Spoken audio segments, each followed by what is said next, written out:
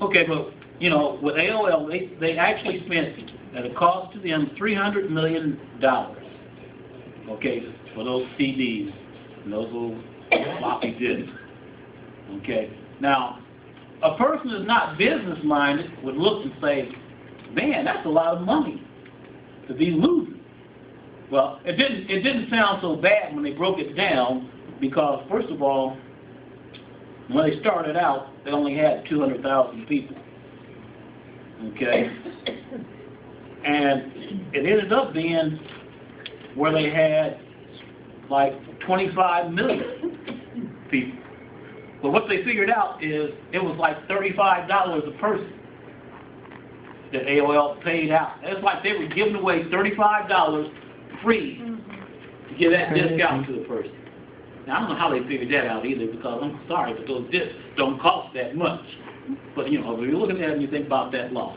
Now, we're talking about, hey, guess what? We're giving you something for free. But now, with AOL, when they gave those discs out and they figured out $35, they were talking about like $350 on a year. Okay, so at right now, we're looking at, and we figure $600 on a year. Okay? But the bottom line is, we're giving it away for free. Now, a lot of people will think that's really crazy. But now, here's the interesting thing. People that went with AOL were there for at least 25 months. Okay, so they're there for at least 25 months. So that was how they ended up getting that 300 some dollars. But the bottom line is, you know, they were going to walk away because there were other places they could go on the web other than AOL. Okay? Now, stop and think about it this way. People who come into ZamZuu, we, we're looking at, I, I, I keep it believable and say five, there's over 550 major stores. Okay? But when we look at the stores, we start naming the stores everybody can identify, like Walmart and Target and Meijers. Guess what? Everybody you know that goes to Walmart and Target and Meijers, they're not going anywhere. They're going to continue to go to Walmart, Target, and Meijers. Mm-hmm. Okay, so they're not going to walk away.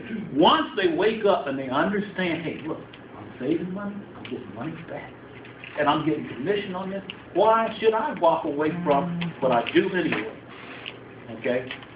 What's going to come along that's better? Because, quite frankly, anything that comes along that's better than Walmart, we'll have it. If it's better than Target, we'll have it. Okay? Just like we're talking about the, the heating machine uh, that we have, uh, what's that, that Amish machine that they have? And people say, well, that's because everybody heard about the Amish machine. I said it was an Amish machine. What the name of it is, I don't know. It's Eden Pure. It's the what? Eden Pure. The Eden Pure. Okay. It's supposed to be the best machine on the market. Yep. However, we know it's not the best. Mhm. We have the best. Okay? Now, once again, as we look at that and we think about that being one of our specialty items, remember, the commissions on that is, is, is outrageous. You Yeah. about Commission, you're gonna get on something, you know, and you gotta heat your home anyway. And we're looking at a heater that, for most people, one heat heats the whole home. I, I believe the commission is, is fifty-six dollars for the free agent. That alone takes care of the monthly, you know, the license fee if they want to be a broker. So, find a cold person. Okay, but the bottom line though is, when we look and we think about it, you know, if you look up here and sort of, you know, some people say, like, you know, doing the math up there and that's overwhelming. The reality of the thing is, you don't have to know all of that. And, and quite frankly, I think for a lot of people, truthfully, it's probably best you don't really harp on all of that. You know, just show it, run it through. For people that have to run run numbers, that's great. But for a person that knows they're going to go to the store anyway, and they're looking at, okay, am I getting any money back? Am I saving any money? Am I having, quite frankly, am I having to spend money that I don't have? Well, let's see. Every time you go to Walmart, I think you're spending what you want to spend on what you want to spend it on. Mm-hmm. Yep. Okay, we went through Christmas and people went and they bought all these things, they turned around and stood in a long line to return the things.